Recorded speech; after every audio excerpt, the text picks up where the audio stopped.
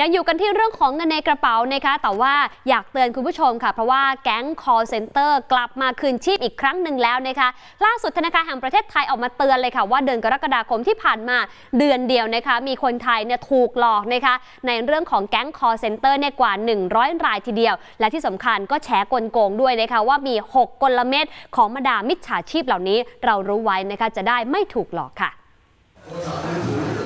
ธนาคารแห่งประเทศไทยนะคะหรือแบงก์ชาติได้ออกประกาศเตือนภัยการหลอกลวงของแก๊ง call center ที่กลับมาอีกครั้งหนึ่ง หลังจากที่หายไปในช่วงเดือนก่อนหน้านี้นะคะโดยล่าสุดกรกฎาคมนะคะมีประชาชนโทรมาแจ้ง เรื่องการถูกหลอกลวงมากกว่า 100 ราย อันนี้คือที่ถูกหลอกลวงและโทรมาแจ้งนะคะไม่รู้ว่ามีกี่รายที่ถูกหลอกลวง แต่ไม่ได้โทรมาแจ้งอีกด้วยค่ะดังนั้นจึงอยากให้ประชาชนตรวจสอบข้อเท็จจริง จากหน่วยงานที่ถูกอ้างถึงโดยตรงนะคะหรือไม่ก็สอบถามข้อมูล จากศูนย์คุ้มครองผู้ใช้บริการทางการเงินจำง่ายๆนะคะ 12 13 12 13 ค่ะ เพื่อไม่ให้กลายเป็นเหยื่อถูกหลอกลวงนะคะ ส่วน 6 กลวิธีนะคะที่พบว่ากลุ่มมิจฉาชีพ มักจะสุ่มเบอร์โทร แล้วก็มีข้ออ้างนะคะเพื่อหลอกลวงเงินก็คือ ข้อแรกค่ะ บัญชีเงินฝากถูกอายัดนะคะ ถือว่าเป็นข้ออ้างยอดนิยมที่ใช้มากที่สุดทีเดียว มิจฉาชีพจะใช้ระบบตอบรับอัตโนมัติแจ้งว่าบัญชีอายัดเงินฝากไปแล้วนะคะ เช่น คุณเป็นหนี้บัตรเครดิตกับธนาคารกดศูนย์เพื่อติดต่อพนักงาน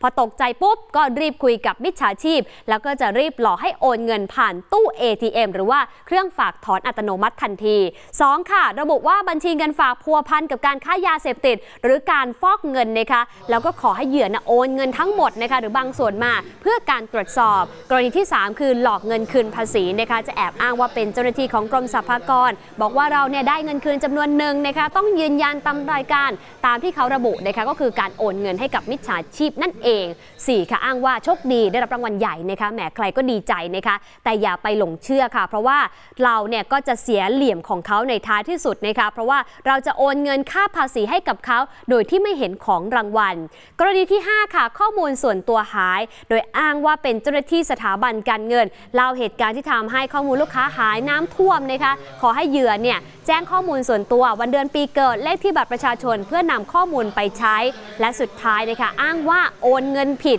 ระวังให้ดีนะคะเพราะว่ามิจฉาชีพเนี่ยพอได้ข้อมูลของเหยื่อแล้วจะโทรไปยังสถาบันการเงิน ไปขอสินเชื่อผ่านทางโทรศัพท์ค่ะ พอได้รับอนุมัติปุ๊บนะคะสถาบันการเงิน ก็จะโอนเงินเข้าบัญชีของเราทันทีนะคะแต่เราบอกว่าเอ๊นี่ไม่ใช่เงินเรานี่นาแต่พอมีมิจฉาชีพโทรเข้ามาปุ๊บบอกว่าเขาโอนเงินผิด เราก็เลยโอนกลับไปให้เขาโดยไม่ได้ตรวจสอบก่อน แต่จริง ๆ เงินก้อนนั้นก็คือเงินของเราที่มาจากการขอสินเชื่อ โดยใช้ข้อมูลของเราจากบรรดามิจฉาชีพนั่นเองค่ะ